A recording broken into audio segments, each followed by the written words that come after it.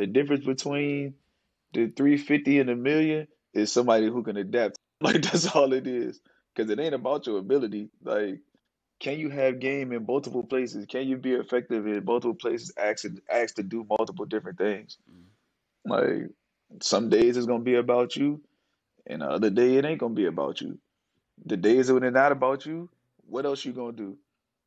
That's your difference between 350, 500, and 1, 1.5, 1.7.